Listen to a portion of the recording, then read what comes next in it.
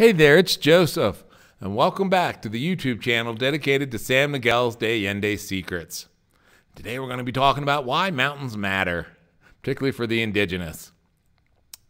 As always, in the descriptive box below, there are links to other websites if you need more information, including Amazon.com if you wish to go out to the uh, Amazon site to purchase any of the books in the best selling series, San Miguel de Allende Secrets. The pre Hispanic indigenous placed much importance on mountains, far more so than their own pyramids that were considered a poor substitute. Why were mountains so sacred and grandly celebrated this time of year? To begin with, we can cite the way in which the ceremony dedicated to the Festival of the Mountains, called Tepeilhuitl, was celebrated. Tepeilhuitl consists of religious processions that began at dawn with Tlaloc, god of the rain priests. These festivities and sacred parades featured long lines of people who joyfully hiked in a group with the intention of reaching the top of the natural elevations near their village. Once the procession reached the highest point of the mountain, people placed their offerings at the temples to Tlaloc and built upon these peaks. Then came banquets, singing and dancing in gratitude for both the past and the future rains, while the attendees waited for the sunset and onset of the dry season. However, thanking the for the past rains or in question coming rains were only just one part of the Tepeilhuitl festival. Celebrating the mountains went beyond just the purely agricultural aspects of the mountains represented surely beyond purely agricultural aspects. As the mountains represented, pardon me, the bridge between the world above and the underworld.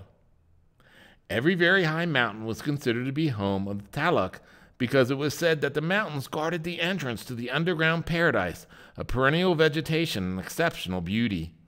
Plus, a Guanajuato mountaintop was the birthplace of man in central Mexico region of Mesoamerica. The mountains were the true pyramids of the world, since they were built and placed upon the horizon by the gods. Consequently, mountains were more sacred than those built in stone by man in a vain human attempt to honor the gods.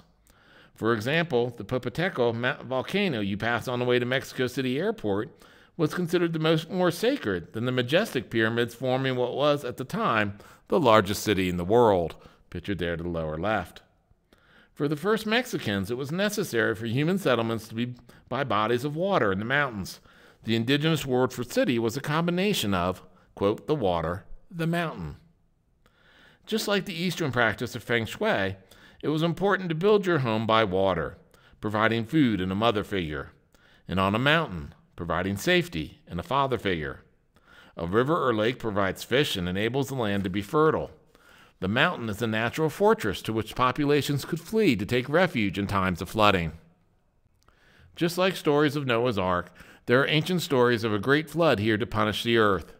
Mountaintops became islands with a deluge into the endless sea, offering survival.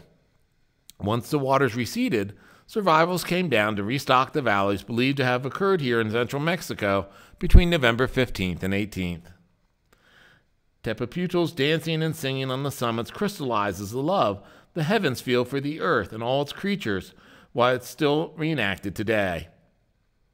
In addition to dancing and feasting, children are encouraged to create their own version of the Tlaloc, as pictured there to the right.